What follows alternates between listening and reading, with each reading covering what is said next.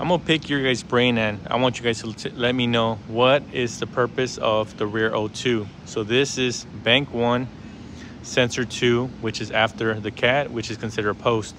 What's the purpose of this sensor? Let me know.